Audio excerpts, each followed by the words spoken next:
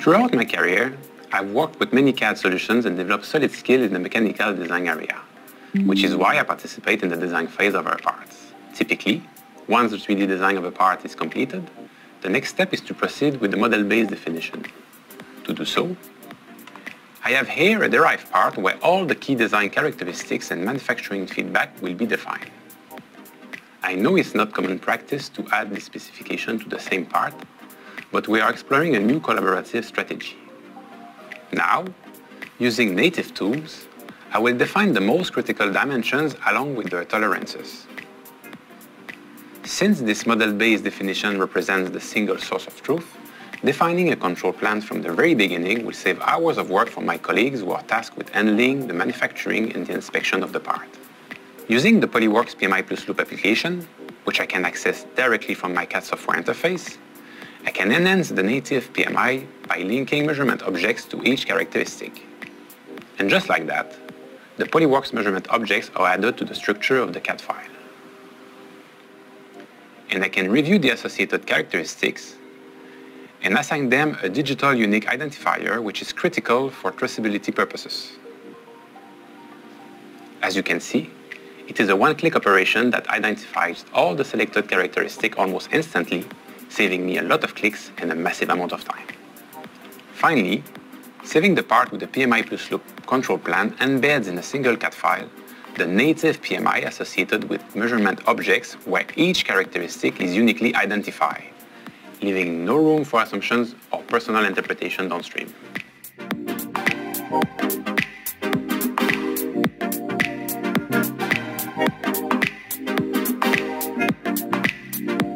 Based on my experience with different manufacturing processes, I'm usually the one in contact with our suppliers when it's time to manufacture parts.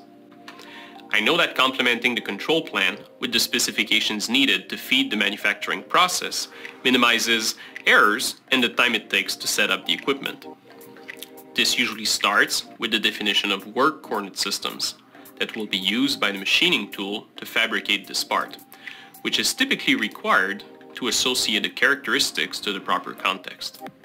Then, I can add the characteristics that I need to monitor the consistency of the manufacturing process.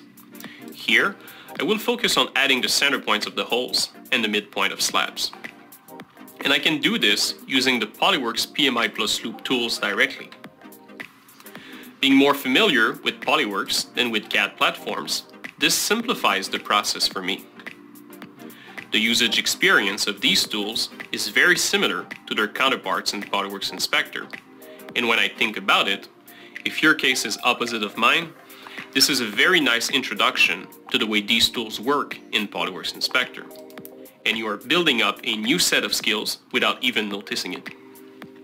With this, I can say with confidence that the control plan is fully defined with design and manufacturing requirements, which makes this part ready to be released.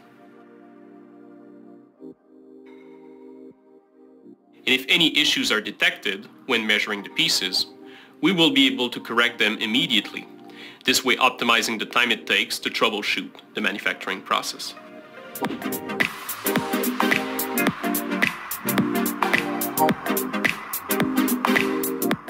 To prepare inspection projects based on engineering dimensional requirements, I can retrieve the CAD model of the part directly from the PLM system, which is amazing because I have access to the single source of truth without leaving the Polyworks interface. So no standalone files or PLM browsing for me.